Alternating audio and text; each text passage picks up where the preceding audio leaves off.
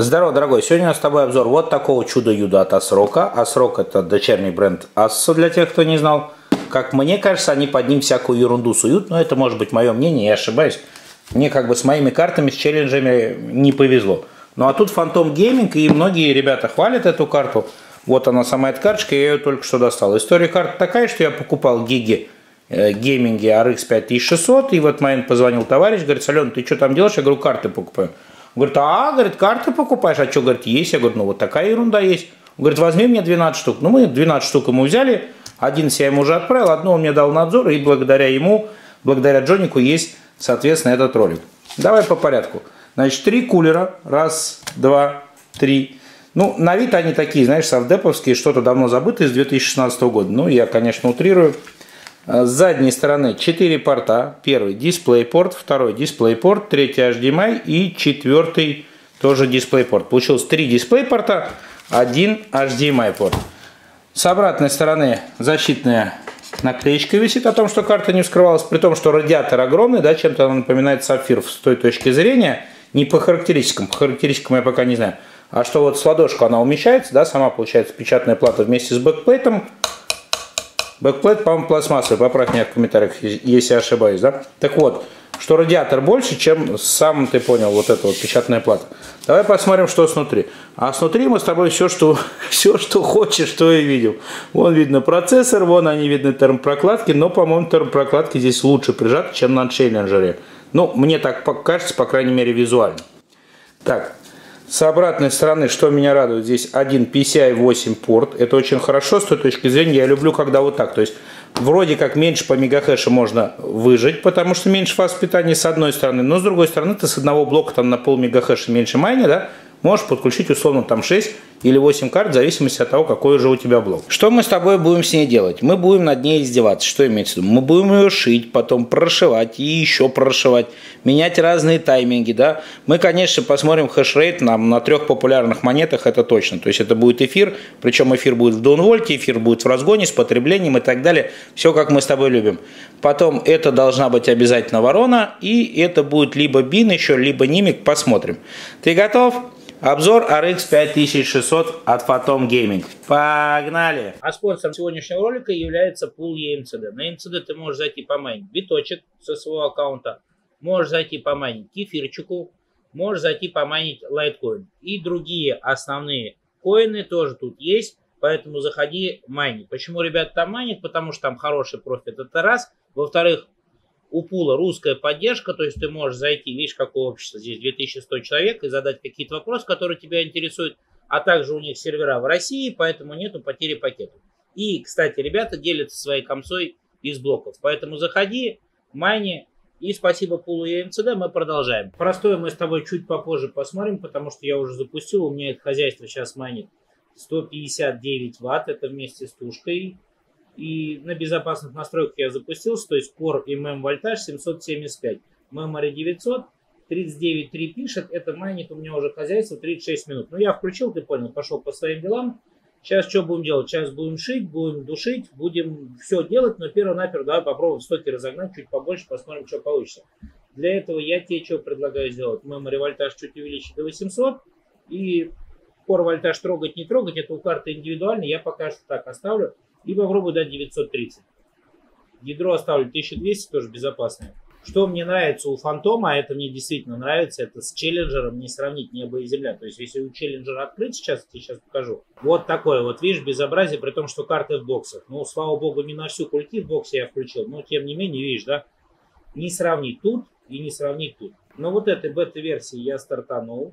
Здесь в этой версии поддержка 3080, 3090 и как бы адаптирована, вроде как они говорят, для 5600, для 5700. Потребление чуть-чуть незначительно выросло, но она вот уже застопорилась, где-то 46, видимо, она и будет работать. Ну и давай попробуем ее прибить. Ядро до 1370 поднимаем, memory 960, core вольтаж до 800 и memory вольтаж тоже 800. Пока оставим, посмотрим. Если не стартанет, прибавим. Не можешь стартануть, давай я вот здесь 850 memory вольтаж задам, может получится тогда. 41,9 с потреблением 173 ватт, то есть карта в данный момент кушает 132 ватта получается.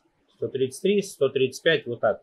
Если карт будет больше, то будет еще больше кушать суммарно. Ну, почти 42 мегахэш взяла. При этом чип вообще холодный, 64 градуса. То есть вот этот осрок и вот этот осрок это небо и земля, я тебе хочу сказать. Слушай, ты прикинь, ее бомбит и бомбит. В каком смысле? Память 70, все замечательно. Потребление, да, конское, но это обдатированное дело, да. Но мысль не в том, а мысль в том, что я сходил в Макдональдс.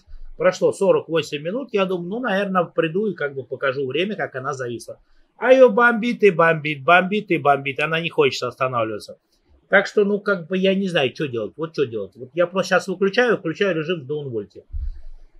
А она как бы не отлетела вот на этих параметрах, видишь, ну, ну, на дистанции, ясно дело, отлетит, но как бы держит, понимаешь смысл. Для Даунвольта 11.40 ядро, как бы не идеальный, но примерно тебе же точные цифры, точно данные не нужны.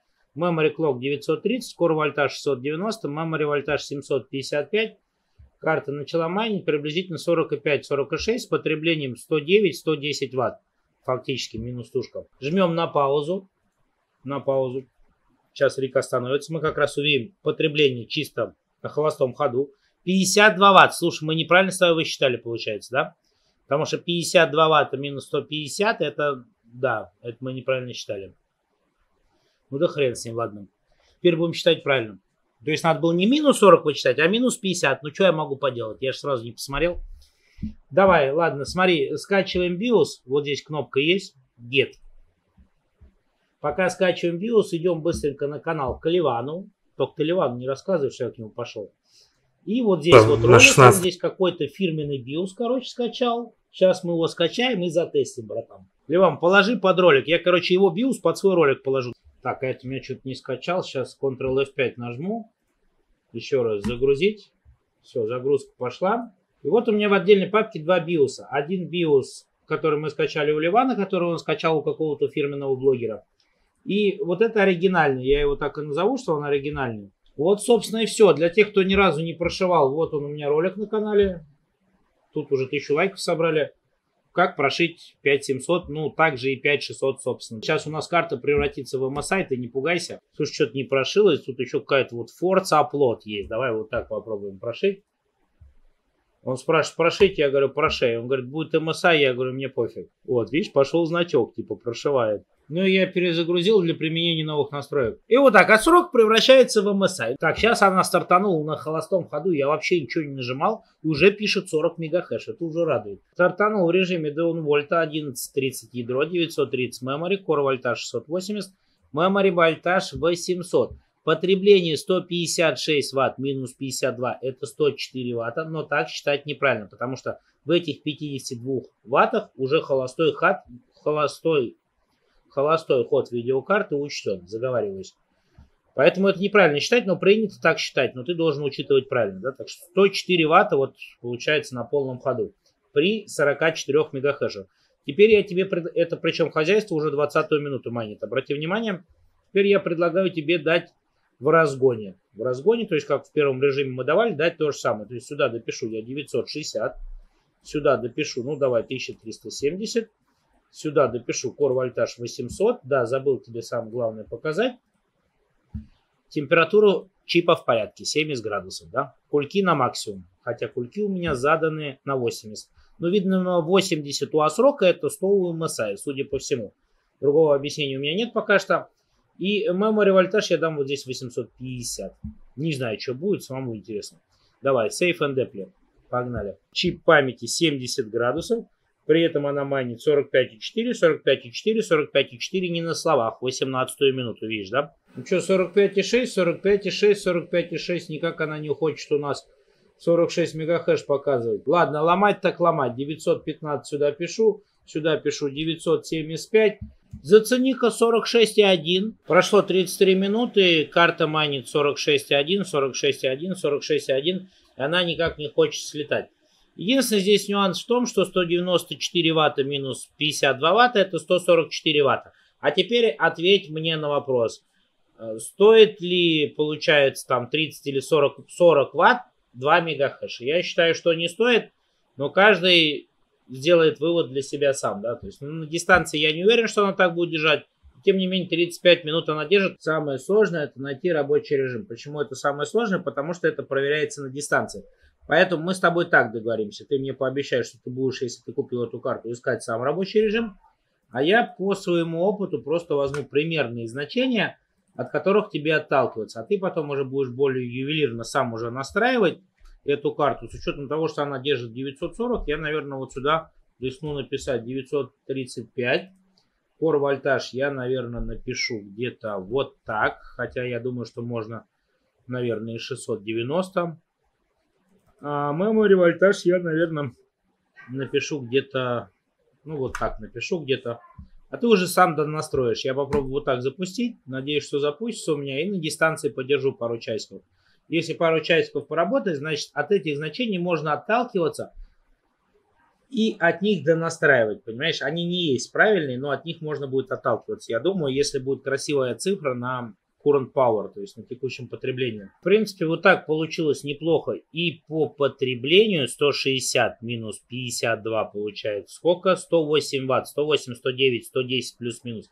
И по температуре памяти 70, и по хэшу 44,2. И это, возможно, будет рабочим режимом. Не точно, но скорее всего так. Я еще минутку где-то понастраивал, понастраивал. Решил оставить вот такие настройки. Смотри, сейчас заводиться не будет. Значит, чуть память опускаешь. Здесь чуть-чуть memory вольтаж прибавляешь, да. Ну, это от карты индивидуально же зависит, скорее всего. Core вольтаж, как бы, ну, 11.00 у меня что-то не держит ядро. Пришлось задать 11.50 с запасом. А так, ну, наверное, надо искать 11.20, 11.30. Core вольтаж я задал на 700, при этом у меня карта вот так вот майнит. Я сейчас хочу, чтобы часа два времени прошло аптайма, чтобы, как говорится, себе уже выкладывать. Если будет держать, то вот так оставлю. Ты понял? Тот более безопасный режим, чем это, но в то же самое время это показывает 44,7, а там уже, как говорится, делай выводы сам. При этом 156 ватт минус 52 получается 104 ватта. То есть вот как бы для меня 104 ватта за 44,7 лучше, чем 142 ватта там за 46,1. То есть разница полтора мегахэша, а эти полтора мегахэша, получается, стоят 40 с лишним ватт. Понимаешь, оно того не стоит. Я думаю, ты согласишься. Майнит уже 2 часа 14 минут. Вот такая формула. Получается, что ты тут видишь 158 ватт потребление суммарное. Из них 52 тушка, 106 разделить на 44,7 будет 2.37 ватт за 1 мегахэш что в принципе очень неплохо. На вот таких настройках, я тебе скажу, можно адаптировать еще. За счет чего можно адаптировать? Конечно, за счет того, что чуть-чуть занизить core clock, чуть-чуть занизить core вольтаж и по возможности, насколько даст, занизит memory вольтаж. Да? Ну, это надо смотреть на дистанции уже, естественно. И за счет того, что вот здесь прописать э, три команды, да, ты понял, где-то сейчас я тебе покажу их. Вот они, эти три команды. Ну, только надо подстраивать, конечно, с учетом тех карт будет это все делать. И за счет этого, я думаю, где-то ну, в районе сотки можно будет увидеть. Я так думаю, это не точно. Если ты хочешь, чтобы я продумал этот момент, давай попробуем собрать тысячу лайков. Как я соберу, если карту я отдам человеку? Все очень просто, я себе заказал уже 6 таких карт. Пока ты не налетел как бешеный и не стал заказывать, я пока цены более-менее адекватные, 6 штук все заказал. При этом температура чипа 72 градуса, я тут посмотрел уже, ролик получается большим, поэтому ворону, бим и там 3-4 другие монеты мы сделаем во втором ролике, опять же, когда этот ролик сможет собрать 1000 лайков, ты понял мысль. Вот, а у меня на сегодня все. Подписывайся обязательно в Инстаграм, Телеграм, на Ютуб, в Твиттер. Я всегда и везде рад тебя видеть. Всего доброго. Пока-пока тебе.